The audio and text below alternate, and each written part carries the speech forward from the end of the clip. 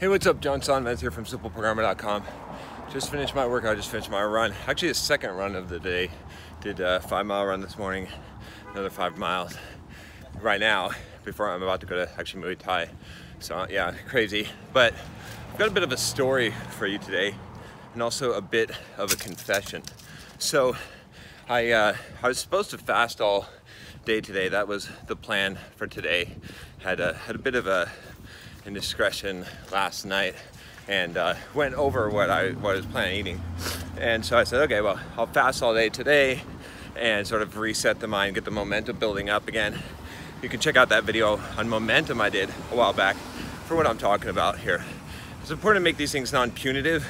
I have to admit a little bit of it was punitive in my mind, so it's probably why I'm about to tell you this story today. So anyway, so story for for today, I went went downstairs to go and do my run. And I walk into the kitchen and what do I see there? I see a bunch of cookies of peanut butter, actually butterscotch oatmeal cookies, right? And so my plan for today is to fast all day, right? And these cookies are actually ruined. They're actually stuck to the pan. There was some missing flour, so they're actually kind of kind of disgusting. Like if you haven't eaten very much, they look pretty good, but a normal human being would probably, you know, snub them. Maybe, maybe try it, you know, but but really not not the best.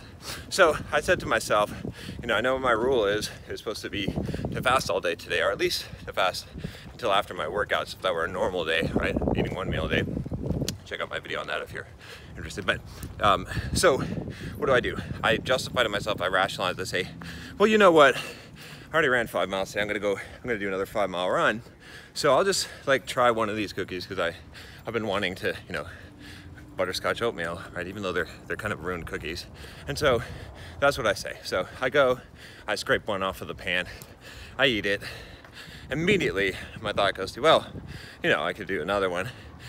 So, you know, long story short, probably like 15, 20 cookies later. Which, by the way, those of you that think that have superior discipline and that's un- indomitable will, no, not quite. Uh, in fact, that's what the lesson of this of this video is. That's why I'm making this video is uh, is because I want to tell you about what what actually makes it so I'm able to be strict and follow my plan, right? So, anyway, I chow down most of these cookies. I end up, you know, it probably ended up being like 20 cookies to be honest with you. Probably like three or 4,000 calories worth of cookies. Let's let's be honest here, right?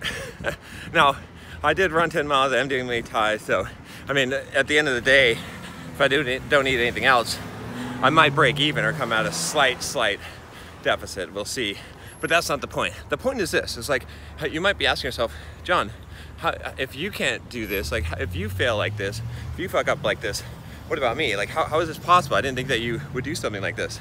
Well, let me tell you how it's possible. See, the thing is, like, you know, no matter how disciplined and how strong your willpower is, uh, it's, it's always going to be be weak. And like anytime you have to make a judgment call, right? So the reason why I'm able to be disciplined is because I eliminate judgment calls from my life, right? If I do, if I have to make a judgment call, I'm always going to make the wrong judgment call, especially if I'm hungry or angry or not feeling good, right?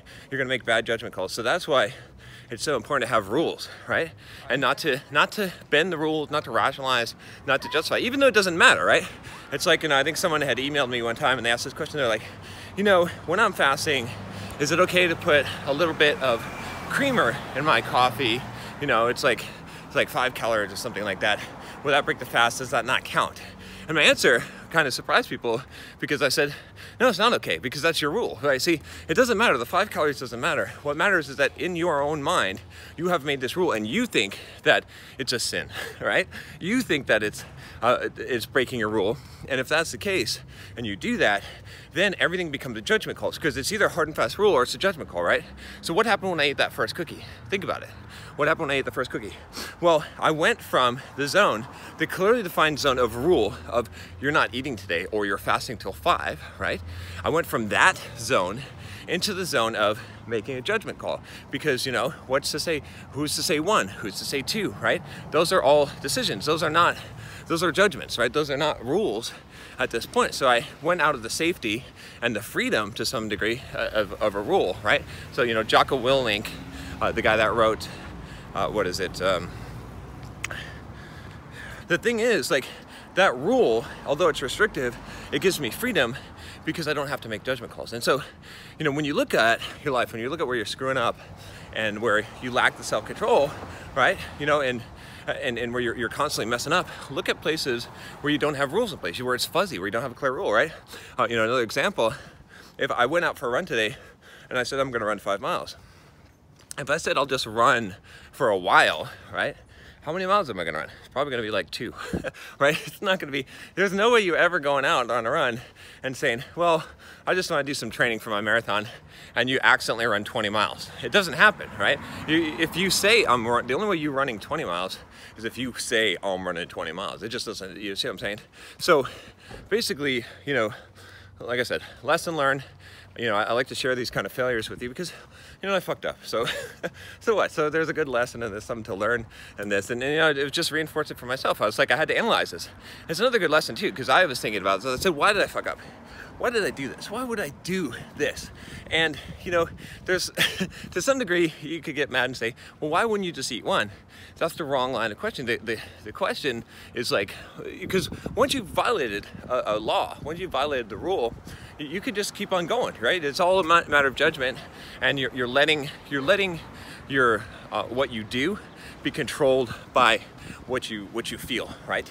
What you feel is right at the time, which is going to be wrong, right? So so the, the what I had to examine is I said, you know, the thing that caused this, the root cause here, was not a, a, lack of self-control of not being able to stop eating cookies.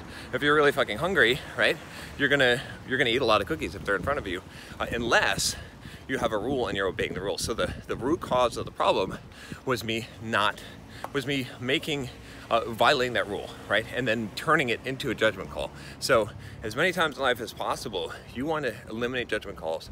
That's why it's good to have an exact time you wake up in the morning. That's why it's good to have on the calendar the days you're going to work out, what your workout's going to be, to have it logged ahead of time of what you're going to train, right? You know, what are you going to produce in that day? Have those rules and never violate those rules because as soon as you do, it becomes a matter of judgment. So I'll do some crazy shit in my life in order to uh, to keep my rules, right? And some people say, oh, it doesn't matter. It's five calories of creamer in the coffee. It's not gonna make a difference. Yeah, and one cookie wouldn't have made a difference either. It really wouldn't have. Really, think about it. One cookie, not gonna make a difference, right?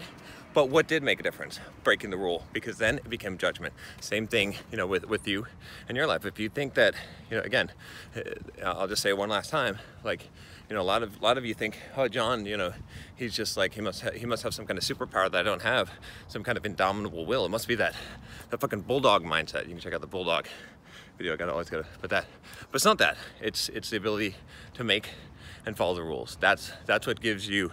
That's what enhances your discipline way more than, than anything else. So, all right, that's all I got for you today. I got a, I got a request for you. So give me one of your rules, right? Either, either rule that you have, or that you do not violate that basically emboldens your discipline, right? Or if you don't have one, make one. Make a rule that you're going to follow from now on that you're never going to break, okay? And, uh, and put it down in the comments below. And make sure you click that subscribe button, click the bell so you don't miss any videos. I'll talk to you next time. Take care.